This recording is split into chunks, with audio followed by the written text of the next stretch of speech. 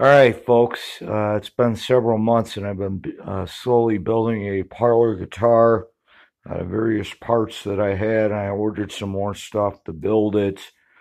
Building a zero zero zero size parlor uh, guitar.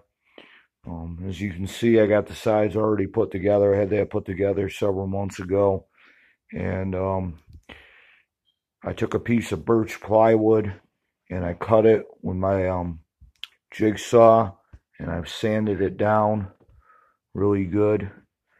And that's going to be the top. That is the bottom of the guitar and it's going to be ladder braced it's going to have five braces. Um, the top's going to have five braces including a uh, long bridge plate going across somewhere to like an old harmony or silvertone or old vintage parlor guitar of the time I'm using hide glue because that's what they would have used back then. But I'm using a liquid form of hide glue. Um, we got all the braces, um, all five of the braces with the bottom already glued up. We're letting the hide glue dry. Um, I got clamps on the outside, and then you can use tape or ropes for clamps. Um, also, and that's what I'm using. I'm using a uh, really strong scotch tape that I got. You can use it for clamps. Um, you can also use ropes. Back in the old days, a lot of guitar factories, they build these by hand. They'd use ropes. Um, but you can also use tapes. You can use rubber band. You use a lot of different things as clamps. But on the outside, I got clamps. And then the uh, rest of it, I got my really expensive tape uh, going down the uh, middle, using it as a clamp. Um, I kind of like harmonies, so I kind of want it to be like a harmony, so I'm not going to clean the squeeze out because the real harmony would have all the squeeze out. As long as the joint's tight, that's all that really matters anyway. So we're building, we uh, we're working on the bottom. We got to let the hide glue dry.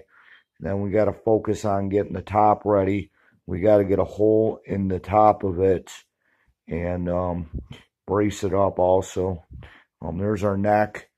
Um, the neck has a truss rod, an non-adjustable uh, truss rod in it. It's a uh, steel reinforced neck. Um, I put I have put epoxy in there, and I clamped that quite a while back. It's got two steel rods in it to give it a little bit of back bow. Because what what non-adjustable necks do in a guitar is they give the guitar back bow, put the neck in a back bow. It's all they do. But um, it's better to have something in there than nothing. So I got these two steel rods. It's going to be a butt joint. It's got four dowels that are going to hold the neck in place. And I'm going to, it's going to be a two person job because I'm going to have to have somebody hold this so I can align those right so I can get the holes in the, uh, the block right there.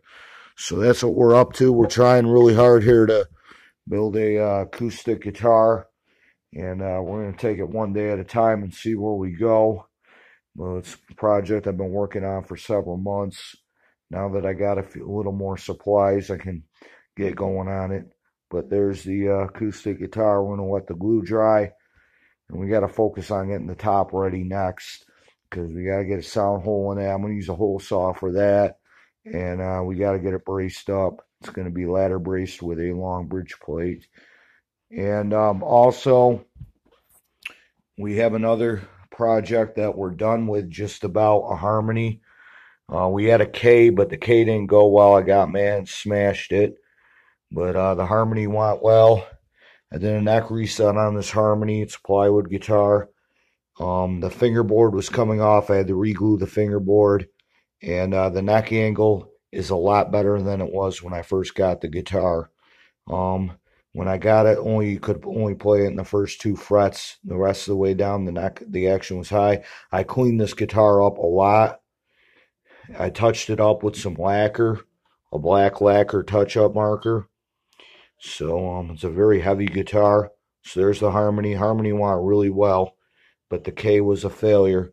Um, the only thing left I got to do is put machine heads on this and have strings put on it. And this one's set, and I polished it and cleaned the frets. All right, we'll keep you posted.